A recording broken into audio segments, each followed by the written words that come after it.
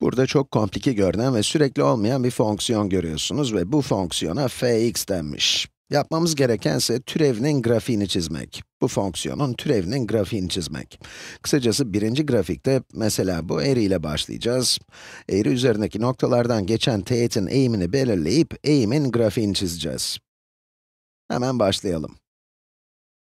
Bu noktada eğim pozitif, hatta bayağı pozitif.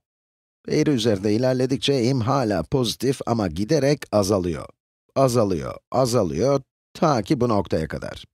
Bu noktada ise eğim sıfır. Peki, şimdi bunu nasıl çizebiliriz? Bir bakalım. Evet, bu noktada eğimin sıfır olacağını biliyoruz. Bu grafik neydi? Hemen hatırlayalım, buraya f'nin türevinin grafiğini çizmeye çalışıyoruz. Bu eğri bir parabole benziyor, öyle değil mi? Biraz sonra neden böyle dediğimi daha iyi anlayacaksınız. Ama şimdi bu noktaya geri dönelim. Bu noktada eğim pozitif demiştik.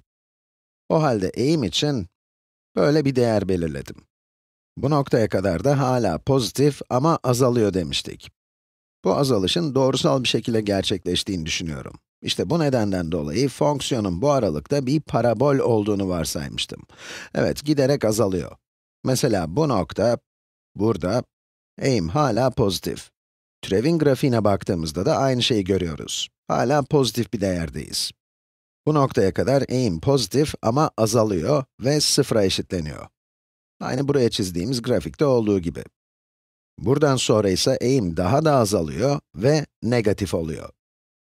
Bu noktaya geldiğimizde ise eğimin negatif ama en az bu noktadaki kadar yüksek olduğunu görüyoruz. Tekrar edelim, bu noktada eğim negatif ve büyüklüğü en az bu noktadaki kadar fazla. Onu da bu şekilde gösterebiliriz. Bu aralık için teğetin eğiminin yani türevin grafiğini çizdik. Devam edelim. Bu aralıkta eğim sabit ve pozitif. Ama aralık hakkında konuşmadan önce isterseniz bu noktayı daha yakından inceleyelim. Bu noktada eğim tanımsız. Çünkü bu noktadan geçen birden çok teğet çizebilirsiniz. Bunu belirtmek için türevin grafiğine içi boş bir daire çiziyoruz. Şimdi az önce söylediğim gibi bu aralıkta eğim pozitif ve sabit. Büyüklüğü için de eğer bu aralıktaki eğimle karşılaştırırsam, evet buradaki kadar pozitif değil. Onun için böyle bir değer belirleyelim. Bu aralıkta bir doğru olduğu için eğim sabit ve pozitif. Aralığı biraz daha iyi gösterelim. Bu nokta, bu noktaya eşdeğer. Bu da buna. Evet, bu aralıkta sabit ve pozitif bir eğimden bahsediyoruz. Böyle olabileceğini düşünüyorum. Şimdi bu noktaya geldik.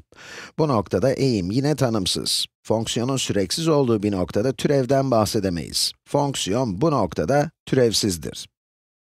Sonra bu aralığa geliyoruz. Fonksiyonun değeri azalmışa benziyor. Ve bu aralıktaki doğrunun eğimi, şöyle göz kararı baktığımızda, bu aralıktaki eğime eşit gibi görünüyor. Başka bir renkle boyuyorum. Bu doğruyla, bu doğrunun eğimlerinin eşit olduğunu kabul ettiğimiz için, türevin grafiğinde çizdiğim bu doğruyu devam ettireceğim. Aradaki bu noktada eğim tanımsızdı. Ama sonra aynı eğimle devam ettiğim için bu noktaya kadar aynen devam ediyorum. Bu noktada tekrar tanımsız. O zaman ne yapıyoruz? İçi boş bir daire çiziyoruz. Ve sonra buraya geliyoruz. Bu aralıkta fonksiyonun değeri artıyor ama fonksiyon düzleşiyor. Bakın bu aralıkta fonksiyon dümdüz. Bu ne demek? Bu aralıkta eğim sıfır demek. Evet, bu noktadan bu noktaya kadar eğim sıfır. Aralığı yine belirleyelim. İşte burada eğim sıfır. Son olarak bu aralıkta turuncu ile göstereyim eğim negatifleşiyor ama sabit. Bu aralıklardaki eğimlerden daha fazla bir eğime sahip olduğunu düşünüyorum. Bunun için daha negatif bir değer seçeceğim. İşte böyle.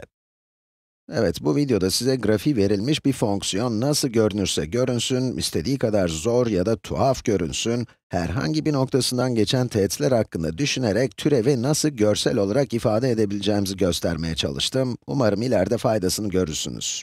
Hoşçakalın.